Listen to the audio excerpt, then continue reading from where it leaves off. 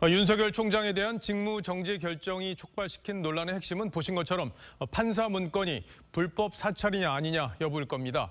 아, 대법원 판례를 보면 어떤 게 불법 사찰인지 잘 나와 있는데 이번 문건과 비교해서 한번 살펴보도록 하죠. 어, 법조팀 장윤정 기자 나와 있습니다. 장 기자, 법원, 대법원 판례가 어떤 건지 먼저 내용을 정리해 볼까요? 네, 1998년 국군보안사령부의 민간인 사찰과 관련한 대법원 판례가 많이 인용됩니다. 대법원은 세 가지 기준을 제시했는데요. 국가기관이 법에 규정된 직무 범위를 벗어나서 민간인을 대상으로 평소 동향을 감시할 목적을 갖고 미행, 탐문 채집 등 방법으로 비밀리에 수집한 경우 불법 행위라고 규정하고 있습니다. 자, 그러니까 이 세 가지 기준 중 하나라도 충족이 되면 불법이다 이런 거죠? 네, 맞습니다. 2018년 우병우 전 청와대 민정수석의 불법 사찰 재판도 있는데요.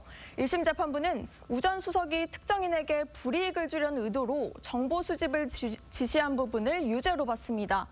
다만 일부 사찰 혐의는 정당한 정보 수집이고 또 이미 수집된 정보를 정리했다는 이유로 무죄를 선고했습니다. 자, 그럼 대법원 판례를 적용해서 이번 판사 문건의 위법성 여부를 좀 따져보죠. 어, 첫 번째 기준, 그러니까 직무 범위를 벗어났는지 여부, 이건 어떻습니까?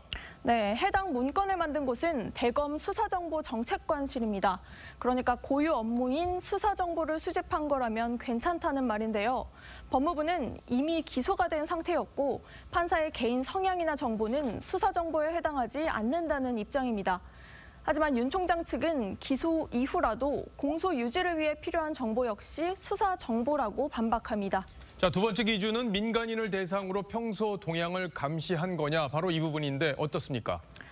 네, 추 장관 측은 사생활 정보를 문제 삼습니다. 또 농구를 좋아한다. 또 뭐 검찰 간부의 처제다. 이런 취미나 가족 관계가 공소유지랑 무슨 상관이 있냐는 겁니다. 자, 그럼 윤 총장 측 반론도 있습니까? 네, 윤 총장 측은 대부분 언론과 법조인 대관 등에 공개된 내용이고 그저 재판을 할 때 참고하기 위해 만든 자료란 겁니다. 이 정보를 가지고 불법적인 행동, 그러니까 탄압이나 이런 것들 할 목적도 없고 그럴 만한 자료도 아니라는 겁니다. 이 내용만으로는 불법인지 아닌지 애매하다고 말하는 법조인도 많습니다. 자, 마지막 기준이 좀 중요한데 미행, 탐문, 채집 등의 방법으로 비밀리에 수집한 정보냐 이 부분이잖아요. 이번 문건에서 특정 판사가 무리를 야기한 법관 명단에 포함된 걸 검찰이 파악하는데 불법이 있었냐 이 부분이 제일 중요한 건데 어떻습니까? 네, 맞습니다. 무리야기 법관 명단은 법원 내부 인사 자료로 비공개 문건입니다. 앞선 리포트에서 보셨듯이 해당 문건을 작성한 성상욱 부장검사는 한 재판에서 피고인의 변호인이 언급하면서 공판 검사들 사이에 이미 널리 알려져 있었던 얘기라고 주장했습니다. 반면 불법성을 의심하는 쪽인 대검 감찰부는 지난 25일 수사정보정책관실을 압수수색했는데요. 검찰이 이런 자료들을 어떤 경로로 확보했는지 또 불법적인 방법을 사용하지는 않았는지 등을 확인할 것으로 보입니다. 결국 재판부가 어, 이번에 윤 총장이 낸 집행정지 신청 이걸 판단할 때 이런 기준들을 잘 따져보겠군요. 잘 들었습니다. 지금까지 장윤정 기자였습니다.